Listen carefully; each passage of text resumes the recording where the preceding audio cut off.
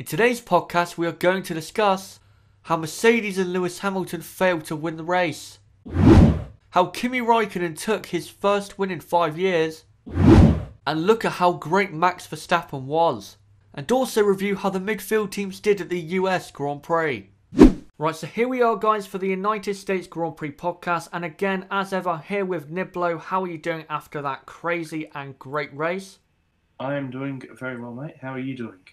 Yeah, I'm doing fine after what was again just a, a, mega race yesterday. But now let's get into this review and first go on to Mercedes, who could have won the race of Lewis Hamilton, but they absolutely destroyed, uh, did Mercedes, their rear tyres on Lewis Hamilton's car, forcing him to pit uh, more than once, and that's what cost him victory. Because I think if the Mercedes did not hurt its tyres so much, Lewis would have took a dominant win and probably would have won the championship as well. Valtteri Bottas wasn't that good really, and I think Mercedes, in terms of race pace, for once, Nib, weren't really there. Yeah, Ferrari for once were actually the quickest in the race for the first time. While Mercedes certainly didn't have the pace this weekend, but Hamilton, as Lewis Hamilton does, you know, just puts it on pole by six hundredths or whatever it was. And yeah, I still thought he had a good race. There wasn't much he could have done, but one of the things I think he could have was pushing so hard after he made his first pit stop to catch Kimi Raikkonen back up, because he even admitted himself that his tyres were dead after he caught up to Kimi, and then obviously sitting behind Kimi that would have hurt his tyres a lot. So Hamilton could have played a bit smarter, that's for sure, during the race, but it was still a good performance. But probably Mercedes' most disappointing weekend uh, in a little bit of time, probably since Spa. So, but obviously they're going to win the title next weekend, so there's no real major concern for Mercedes at all. Now we'll go on to the Scuderia Ferrari team, and what a result for Kimi Raikkonen, his first win in five years. What an emotional moment it was for him to win at the US Grand Prix. Just what a great moment, and it's probably going to be his last win in F1. So for everyone listening and everyone who, you know, tuned in for that race, save that moment in your mind because it's going to be quite a famous moment when we look back in, you know, 10 years' time. It's, again, it was such an emotional moment at COTA. But for Sebastian Vettel, again, bottling it. First off, with Daniel Ricciardo hitting Ricciardo at turn 13 on the exit, understeered wide, hit Ricciardo off the track and spun. It was clearly Vettel's fault. He didn't deserve a penalty for it, but it was clearly his fault. Nib, what did you think of Raikkonen winning his first race in five years, and for Sebastian Vettel, just why does he keep bottling it? With Ferrari, wow, what a, what a turnaround! They've taken four months of upgrades off of the car. They've returned their car to how it was before the summer break, and it was when it was at Silverstone. And well, what a performance by Ferrari this weekend, back where they should be they showed that they really did have the pace. And what an absolute superb drive by the Kimster on, on Sunday. He was absolutely superb, defended brilliantly against Hamilton when Hamilton caught him uh, towards the end of Kimi's first stint. And he thoroughly, thoroughly deserved to win this race.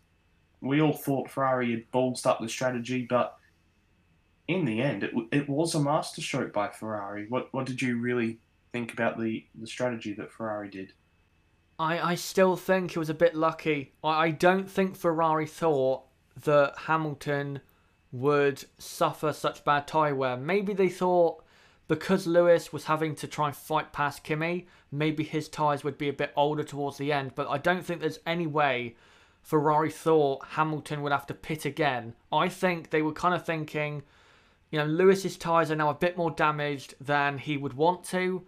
So now we can just push and hopefully by the end of the race, when Lewis's tyres are a lot older, maybe get closer. But I don't think they thought um, I don't think they thought that Lewis would be pitting again. No way. Well, they did say during the race that Hamilton is on a two stop because Hamilton did pit very early for soft tyres. It, the pit window opened up about lap 16 to lap 20. That's when you should have really pit for soft tyres. So it was about five to 10 laps too early, and those five to 10 laps were certainly a big um, hampering on Hamilton's race, and that's why he did have to pit again. And with Sebastian Vettel, well, I don't know what's happened to the great full-time world champion that we that we used to have. He's he's a shadow of his former self at the moment. He could have quite comfortably had pole, but he, he made a slight mistake at the last corner, which cost tenths compared to Hamilton. You know, there's not that that just happens. Can't blame him too much for qualifying, but in the race, I don't know what he was doing. Quite quite frankly, it, it, just another horrific too late on the brakes, understeering moment when he when he initially got past Ricciardo comfortably and then he locked up his rears a little bit, went wide, allowed Ricciardo the opportunity to get back alongside, and then yeah, he just understeers straight into Ricciardo. Ricciardo left the biggest amount of room. There's there's an image that's been going around on Twitter when they're side by side, and it looks like Ricciardo's literally going to go off of the track to give Vettel that much space. Um, and somehow he still managed to crash into him. So who knows with Vettel at the moment? He needs this season to end as quickly as possible, just so he can move past this season and look forward to 2019 because, well, this has been an absolute horror show for him this year. I think in the last two races, he's lost 33 or something positions on the first lap or whatever it is. Now, drop down to 15th. It's it's just not good enough by a four times world champion. This is what you'd expect from, I don't know, Romain Grosjean. You know, obviously he still made his mistake this weekend, which we'll get onto a bit later. But it's Sebastian Vettel, supposedly one of the greats of the sport, but he's certainly not showing it at the moment. Now we'll move on to Red Bull, and with Max Verstappen, clearly he was the driver of the day on Sunday, starting in 18th and finished second and almost got a race victory. What a performance! This may be one of his best drives so far in his young career. I can't believe he was that good. I thought he would get probably into or close to the top five, but I did not think he would be that close, uh, you know, to winning the race or even be on the podium. But he was so so good in the US Grand Prix. So for Red Bull, it was a good race, but for Daniel Ricciardo, again, reliability problems. Uh, Nib, I know you're, you're still very angry and probably sad about this, so I'm not going to subject you to too much of this, but just share your thoughts on another Renault reliability issue. Well, let, us start off with the positive here, and that, that was Max Verstappen this weekend. He was very, very good. He got stopped by the the stopper curve, which is quite quite funny by uh, the Circuit America's Twitter account, which they posted that out over the Grand Prix weekend, and then it actually stopped him, which is yeah, very funny. But wow, what a drive! He's so so good on his axes. I don't think anyone would have expected the super soft tires to last that long, but it was a shame as they did start to go off towards the end of the race. He said that's why he couldn't challenge Kimi but yeah, certainly driver of the day. I don't think there can be any doubt. Even though Raikkonen was very good, Max was brilliant again, as as we've been pretty much saying the whole second half of the season. Max Verstappen and brilliant, but but but and a big but, Mister Ricciardo, another bloody retirement. I am I am absolutely over this. You know, I stay up all night. The race is on at 5 a.m. And then I want to throw my TV remote through the TV because Ricciardo's retired again. Um, Christian Horner has confirmed that it's the exact same issue as Bahrain with the energy store, just a complete shutdown of power. And now I'd like to go through um, some stats here from uh, from USA last year. So at the United States Grand Prix in 2017, he DNF'd with an engine. At Mexico, he had a 20 place grid drop, and then of course DNF'd with an with a blown up engine. In Brazil, with Red Bull's engine power significantly hampered because they had to turn it down, he finished sixth. In Abu Dhabi, DNF hydraulics. Australia, a clean weekend, hooray, P4. Bahrain, DNF, electronics. China, P1. But, of course, his engine blew up in practice three and it was very lucky to get out in qualifying. Red Bull did a fantastic job. In Baku, he DNF'd after the collision with Max. Not reliability for once. At Spain, he finished P5. No reliability issues. Hooray. Monaco, ERS failure in the race. If it was any other track, he would have had to retire from the race. But because it was Monaco, he finished first. Canada, P4. France, front wing failure, P4. Austria, exhaust failure, DNF. Britain, P5. Germany, 20 grid place penalty. Oh, yeah, and guess what? He DNFs because his engine blows up. Hungary, P4. Belgium, DNF. It was a, there was no reliability issue though. Um, it was collision when all that chaos happened at turn one. Italy, 30 place grid spot penalty, DNF with the clutch problem. Singapore, P6, which was quite a disappointing weekend. Russia, 40 place grid penalty, P6. Japan, car, car failure during qualifying, P4. And then, of course, at the US Grand Prix, a DNF with another engine issue. It's not good enough. And I need to stop before I absolutely go off. I think I think I've said what I needed to say here. Well, uh, after that rant, I think it's now time to get on to the midfield. And first off, let's go to McLaren.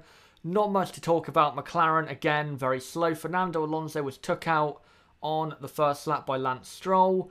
And Stoffel Vandoorne, even though he wasn't miles off, say, Ericsson and Hartley, who finished in the points, he did, I think, get a bit lucky from, you know, Ocon and Magnussen being disqualified and also some retirements. So even though he finished P11, which is a good result, he was a bit lucky to get that. Um, Nib, any thoughts on McLaren? No, not really. You know, they brought a little revised front wing update. It did nothing. Shock because all of their upgrades have done absolutely nothing this year when they've even brought any upgrades, which have been very rare. But yeah, as usual, McLaren showed up and they went home empty handed. So, not too much to discuss here with McLaren. Obviously, Alonso taking out the first lap. Then, yeah, the, the Stoffel didn't do too much. Nearly got a point, as you mentioned, but yeah, it's, not much to say about McLaren. All that's needed to be said over the last few weeks has been said. They're, they're a joke of their former self. They were slower uh, this year than they were last year, here, which is just a disgrace. I remember when Alonso put in that great lap last year, but oh, they're, they're awful. I think the less said, the better with McLaren. Next up is Renault. What a race this was for Renault on Haas's uh, turf. Sixth and seventh, and basically because of Haas's disaster of a Grand Prix, now Renault have basically confirmed fourth in the constructors. So even though it's not confirmed as uh, as of yet, basically it is over, and I'd have to say it is deserved. Renault have been better than Haas at getting you know, the results needed. Haas have had the faster car, but have just bottled great opportunities, in my opinion, compared to Renault Nib. Surely this performance will make you a bit more happier going into 2019 um, for your guy Daniel Ricciardo. Yeah, certainly. This has been Renault's best weekend in, in in probably about four or five races now. I can't remember the last time they they properly had a good result like this with Nico Hulkenberg in sixth and Carlos Sainz in seventh. Obviously, Carlos Sainz had his little um, issue when he track extended at turn one. Uh, I'm not too sure how I feel about that. I, I, felt as if he did deserve a penalty, but I think if he did try to stay on the track, he he might have got a tap on the rear end, so he just wanted to make sure. So, yeah, I, I think the penalty was fair, but yeah, on enemy turf, Renault have done and got the job. We've got got 14 points from this weekend, and now looks like they definitely get fourth position over Haas. Um, but yeah, what what did you think on the Carlos Sainz penalty? I think with the Sainz penalty, it was fair. Uh, looking at the replay, I don't think there was a car close enough to push him right off the track. So, you know, he didn't really have an excuse, in my opinion, from that way. Um, and he gained a position on the Force India of Esteban Ocon by going off the track. If he stayed on the track, he would not have passed Ocon down into turns two and turn three. So for me, definitely a fair penalty. And it's nice to see, by the way, the stewards, after what was a joke last year, nice to see that they are actually coming down on these track extensions and corner cutting, despite, I think, is it turn nine? Um, yeah, everyone is track extending at that corner, but it's nice to see them being more strict because, again, last year at COTA was just an absolute joke. Yeah, I absolutely agree with you there. The, the track extending year. I remember what, watching some onboard from Ricciardo, and he just completely cut one of the. It's like if you do that in F1 game, you're getting a three second penalty. Sometimes the F1 game's more more strict than real life, but yeah, it is a pity that they still track extend to Narnia out of uh, turn nine. But yeah, a fair. I agree with that. A fair penalty for Sainz, and yeah, this result certainly does fill me with a little bit more hope hopefully they can get a little bit closer to the top three teams. But um, I'll firmly say once again, hashtag believe in Renault. Now we'll go on to Force India, who, in terms of the race result they got initially, 8th and 10th, it wasn't that spectacular. It was still a good result, but it wasn't it wasn't that great. I thought they should have been a bit better than that, but that's what they got at the time. But then Esteban Ocon was disqualified for exceeding the fuel flow limit at the start of the Grand Prix. Nib, just how much of a, even though that you know they're not seriously competing, you know, with Renault and Haas, how much of a disaster is this, considering that if things go awry in the last couple races, you never know, they might finish behind McLaren if they continue to waste points.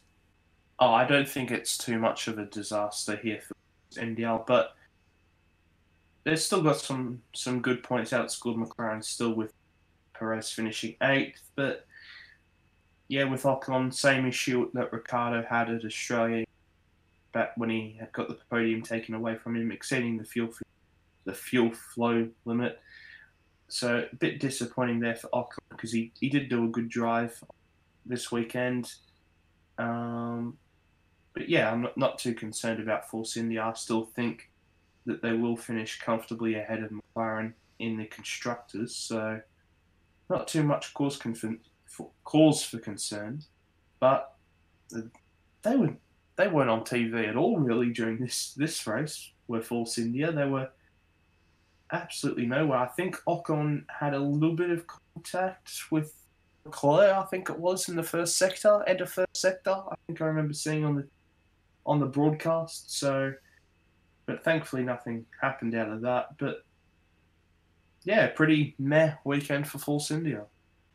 And next up is Williams, who had a usual just nothing e type race. But the only thing that did happen that is of note is Lance Stroll taking out Fernando Alonso. And Nib, what was Stroll thinking? There was not a gap there to go for an overtake, but he thought, why not? I'll just put my car in there when that gap was always going to close. Yeah, I'm, I'm not too sure what Lance Stroll was thinking. He, he does like to over aggressive. He he was basically all four tyres nearly off the track to try and get past Alonso. And then I think one of the funniest moments of the race where David Croft said, Oh, and that's Alonso just turning in on Stroll. I'm like, Are you mad, Crofty? Are you mad? What are you on?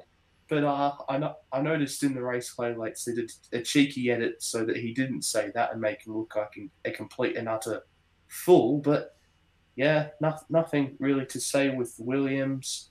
They they ahead of um, Ericsson and Vandoorne in qualifying. That was good, but yeah, another just air weekend for Williams. And once again, same as they were slower this year at COTA than they were last season. So that's an absolute disgrace. And hopefully we can see a, a bit better Williams um, next year. Now we're going to Toro Rosso. Pierre Gasly, who normally is the furthest forward going Toro Rosso driver, did not really have that great of a Grand Prix, finishing in P12. But for Brendan Hartley, with the disqualification of Esteban Ocon and Kevin Magnussen, finishes in ninth. And you know what? I think this was his best uh, race so far in his F1 career. He was just fantastic. His pace was great and completed a very underrated move around the outside of Marcus Ericsson, I believe at turn, I think, 8 or turn 7. A, a, an amazing overtake of that corner. I've never seen a car go right around the outside at that part of the track. And you know what? I think for the hard work he put in in that race to get up to P11, I think he deserves points, Nib. Yeah, definitely. Big up for my brother Brendan Hartley here. He was fantastic in the race. You know, obviously having to start the back the grid. He he avoided all of the carnage well, and I might just suggest to everyone listening to the podcast go go and watch Brendan Hartley's um, first first lap on board footage. Well, he, he had a fantastic first lap. As you mentioned, that move he did on Ericsson, probably the move of the race. Wow, completely around the outside of turn eight or seven. Can't remember which one it is, but he completely mugged Ericsson off like he wasn't even a proper F1 driver. He, it was a fantastic move, and he he comfortably beat Gasly this weekend by, in the end, in the race, about 15, no, 25 seconds actually in the race. So fantastic by Hartley, and obviously got a bit lucky to get the points, but I felt as if he deserved some points today because maybe if he started a bit further forward, he might have actually got some points today. So, oh, today, the other day. So, yeah, very good for Hartley and quite a positive weekend for Toro Rosso, even though they started at the back of the grid. Now we go on to the home team Haas, and what a disappointing race it was. They had to beat Renault, they had to outscore them in terms of points. But instead, Grosjean retires in two laps, and Magnussen is disqualified because uh, basically Haas overfilled the car and exceeded the fuel limit. Just not good enough. First off, Romain Grosjean clearly at fault in the incident with Charles Leclerc, deserves a three place penalty for Mexico, and is just two penalty points away from a race ban, so Grosjean needs to be careful. I think for Magnussen, he did do a good race, but the team, even if it was slightly over the limit, they broke the rules. So, yeah, just again, how disappointing Nib was was Haas's performance. Yeah, definitely. Some might say it was a disaster of a of a weekend, but it was a good race by K Mag with all of the fuel saving which he had to do as Haas have come out and complained. You know, Gunter Steiner coming out and having a having a suck really. You know, it's not fun to watch. Well, I don't know about you, mate, but this race was one of the best races to watch of the season. That's for sure. But I know next year they're upping the fuel limit, aren't they, by about five kilograms. So hopefully that helps out Haas the issues with um, fuel saving. But with Romain Grosjean, oh, it, it, it was a case of 2012, 2013 lap one Romain Grosjean just being silly and crashing into people Usually it was Mark Webber, but this time it was unfortunately Charles Leclerc, and I think Leclerc could have got some points, so that's a bit disappointing. But with Grosjean, he just ruined his own race, and well, they completely, completely bottled this weekend. It was a very good opportunity to get more points than Renault, and in the end, Renault come here with a with 14 more points than Haas. So an absolute nightmare of a weekend for Haas. And finally is Sauber, who they could have got points, as Nib said, uh, they were Haas with Charles Leclerc, but they didn't because Romain Grosjean returned to his lap one nutcase uh, persona. So disappointing for Leclerc, and I think he retired because of the damage uh, sustained with that contact with Romain Grosjean. Ericsson, at least he scored a point, but it was a very uneventful race, and in terms of pace, I don't think he actually deserved it, but there you go. He scored a point. Uh, Nib, do you have any final thoughts about Sauber? For Sauber, quite a disappointing weekend in the end. Obviously, Marcus Ericsson gets a point after the re- the disqualification of Kevin Magnussen and Esteban Ocon, but even more disappointing for Charles Leclerc, who, when looking very good the past two race weekends, has got taken out by both the Haas drivers, which is, uh, yeah, not too surprising. But I think he definitely would have scored some good, valuable points this weekend. But sadly, that was not not to be. He had to retire from damage to the car halfway through the race. So hopefully Charles can get a clean race weekend in Mexico and hopefully show what um, some good form. But just some final thoughts on the race before we do end off the podcast. Um, thank you, Pirelli. I hopefully this shows them that what happens when when we have tires that degrade. This race was all made well and good because of the rear tyres degrading. Degrading tyres equals good racing. They got it absolutely bang on this weekend, so absolute kudos to Ferrari. And I'm not too sure if you want to say anything, but just some final thoughts on the race. Yeah, Pirelli did a great job in terms of the tyres. I do think um, with the track being fully wet for Friday, I think that's what created this race and the um, uncertainty when it came to the tyres. But there you go. I think Pirelli, yeah, I think their tyres just about uh, did the job. Before we get on to the questions, let's do some quick and early predictions for the Mexican Grand Prix. Now, I'm going to go for Max Verstappen to win because if he was so close to victory after starting 18th and only being a second off Kimi Raikkonen, if he was so close to victory at COTA, at Mexico, which is going to suit the Red Bull a lot more, I don't see, unless Max, you know, makes a mistake or gets hit by someone, I don't see how Max won't win the race. I think he's going to be so quick. Last year at Mexico, he dominated that race. He was so, so good. Put a great move on Sebastian Vettel to get the lead. Uh, so yeah, I'm going to go Max in first. I think Lewis will finish in second and take his fifth world title. Remember, Lewis has to finish seventh or higher to win the championship, regardless of what Vettel does. And in third, I'm going to say, you know, I'm just going to keep it at a Ferrari because I'm not sure which one it's going to be. I would say Vettel, but Vettel is throwing it away so much. I don't trust him to actually get a podium at Mexico. How unbelievable is that to say for a four time world champion that I don't trust him to finish in the top three at a, a normal bog standard track, really? That is quite unbelievable uh, to say. But Nib, um, are you going for a same victor or are you going for someone or a different team for victory? I am indeed going with the same winner. I believe Max Verstappen will win the Mexican Grand Prix, followed by Kimi Raikkonen in second, because I the the Kimster's in a good vein of form at the moment. It's it, it is a pity because I think he he kind of deserves to keep his seat at Ferrari. He's actually very well this season. Um, and then in third, this is very, very hopeful, and Ricciardo's going to need some sort of super. Oh, I just exposed it, haven't I? I think Ricciardo's going to finish third.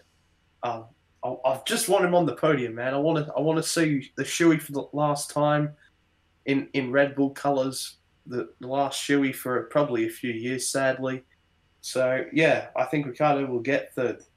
Now, to end this podcast, we'll get on to the questions, and the only questions are from DT2002. The first one is Do you think next year is going to be decisive for Vettel if Charles Leclerc beats him? Yes, because if Leclerc, in his first year at Ferrari, which is, you know, Ferrari is Vettel's team, if Leclerc comes in there and beats him, and wins the title, I think Vettel mentally's done. Because, I mean, he's been hammered mentally by Lewis for, what, two years now. He was beaten by Ricciardo in 2014. That was a, a hammer blow. So, if he gets beaten by Leclerc, I think mentally he's done in terms of winning championships. I don't think he'd be able to recover from that. I don't think he is strong enough to come back uh, from that nib. Do you agree? Do you think Vettel can um, turn it around if Leclerc does beat him? Um, and how decisive of a year is 2019 for Sebastian Vettel? Yeah, 2019 is probably going to be the biggest year in Sebastian Vettel. Can he turn it around? Can he turn around all of the horrific mistakes and bad luck that he has had over the past two years? But yeah, if if Charles Leclerc beats him, I think Vettel's absolutely dead in the pan, done, buried, and finished. So I hope for Vettel's sake that he does beat Leclerc, but obviously I do like Leclerc a lot, and I hope he does well. But it, it's just as I've been saying for the past few podcasts now, it's just such a shame to see a four-time world champion like this. That's for sure. But yeah, very very decisive year for Sebastian Vettel. And the final one is what has been Lewis Hamilton's best moment of his season so far and I think it's quite clear it has to be Singapore. That lap in qualifying was one of the best laps I've ever seen uh, since I started watching F1 in about 2011. What a lap that was, and he annihilated the field that weekend also in the race. So, yeah, it has to be Singapore. Nib, do you agree, or do you think maybe Monza or uh, maybe Hockenheim? Well, Hockenheim is definitely the moment which the title turned to Hamilton. But yeah, I, I have to agree. It has to be Singapore. At Singapore, everyone expected Ferrari to come back strong. This is where Ferrari should be really good. They're good on high downforce tracks, and Hamilton absolutely blew everyone out the water with his lap. So, yeah, yeah, for me, it also has to be Singapore. And as you said, probably the best qualifying lap I have ever seen live. That's for sure. Absolutely incredible lap. And yeah, Hamilton certainly does deserve this fifth world title that he should win next or this weekend coming. Right, guys, that's it for the podcast. Thank you guys for watching, and as well, thank you guys for 1.5k subs. Again, it means a lot, and hopefully, the channel will keep growing. And Nib, Thank you very much for helping me out this weekend with modding in the chat and with being a part of the podcast as always, mate. Yeah, it's always a pleasure to record these podcasts with you. I've always liked F1 with you, so it's always great to do. But anyway, guys, that has been it for this video. Don't forget to hit the like button and subscribe for more content like this. Don't forget, guys, I'll be back on Thursday with a Mexican Grand Prix preview. As well, don't forget to join our Discord server, link below in the description, also with my Twitter and my website. Comment down below what you thought of this video and comment down below what did you think of what we discussed. Please comment down below what you think about those topics and until next time it's been me, Chazza HD, goodbye.